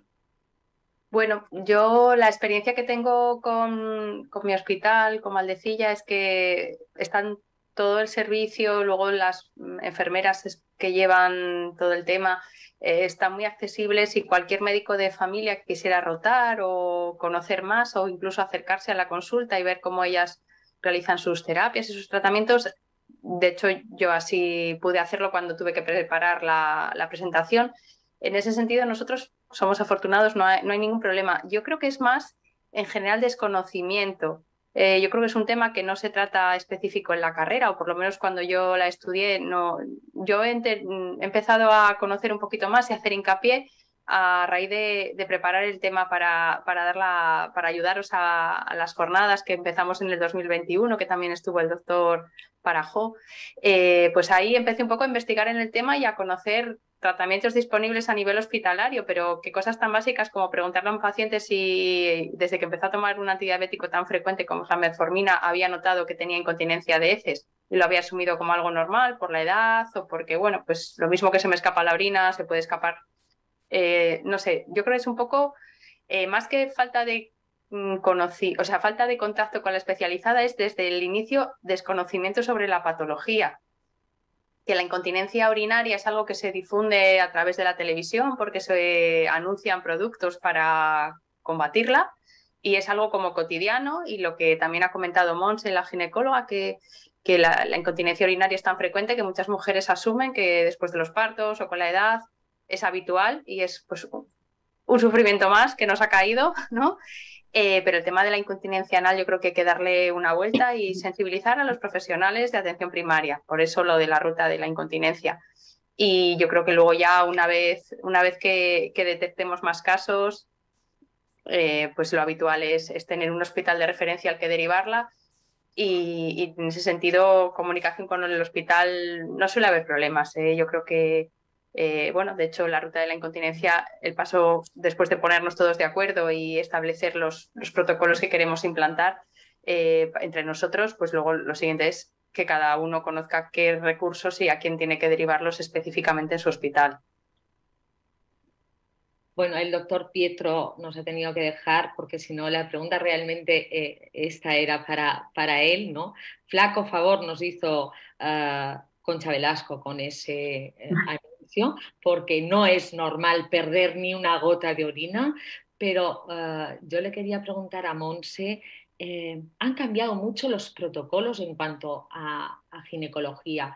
¿Deberían cambiar más? ¿Debería la gente, eh, cuando se queda embarazado ya, hacer una rehabilitación para cuidar ese suelo pélvico? Yo siempre me ha quedado esa, esa pregunta de a lo mejor si hubiera hecho una rehabilitación ah, me hubiera evitado las cinco esfinteroplastias que llevo. ¿Puede ser así? Pues sí, claro.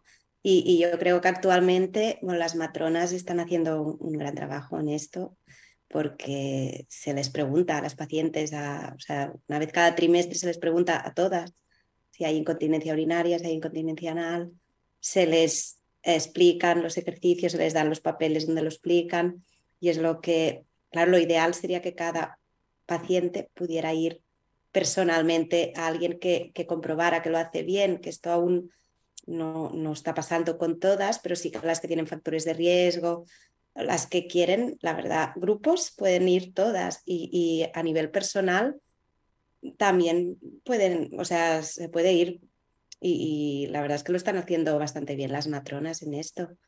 Y concienciar a las personas y muchas pacientes, al menos las que vemos em, a nivel del parto y tal, muchas han ido a fisioterapeutas preparto o, o con la comadrona, la mayoría saben lo que son los Kegel, lo, lo, intentan hacer, algunas no lo hacen del todo bien, pero, pero al menos mm, les suena, saben lo que es, que yo creo que nuestras abuelas no sabían ¿no? O nuestras madres, nadie se lo había dicho.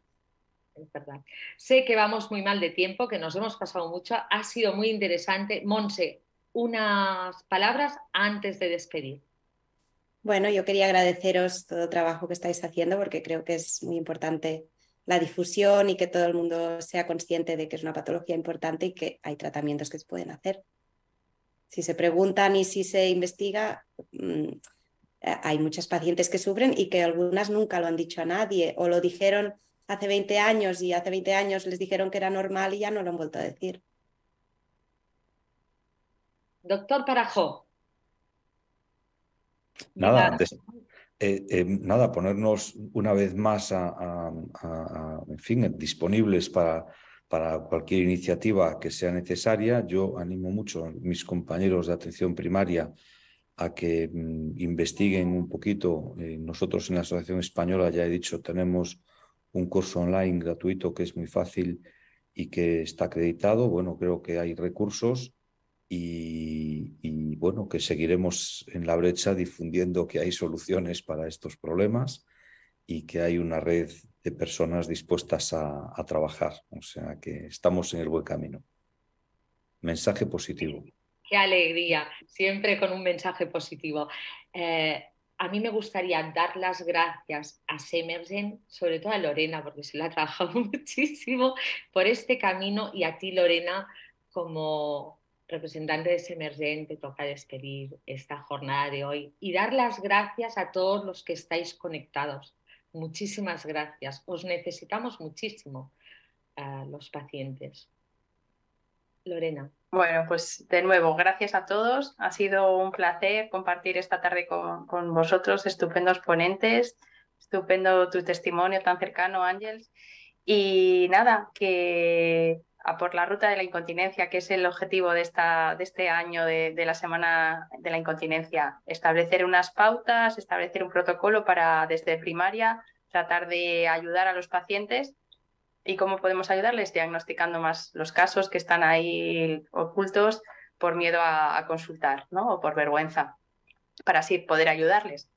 Y, nada, yo creo que ya lo hemos dicho todo. Espero que haya quedado eh, clarito, que la gente haya disfrutado con las diferentes ponencias, viéndolo desde los diferentes aspectos, desde los diferentes especialistas. y nada, agradeceros a todos de nuevo el haber estado el haber estado esta tarde. Ha sido un placer, de verdad. Y como no podía ser de otra manera, tenemos que despedir con la foto de la Semana Mundial. Ahí, chicos. Perfecto, gracias. Besazos a todos. Gracias. Gracias. Gracias, buenas tardes. Hasta pronto. Gracias. Gracias.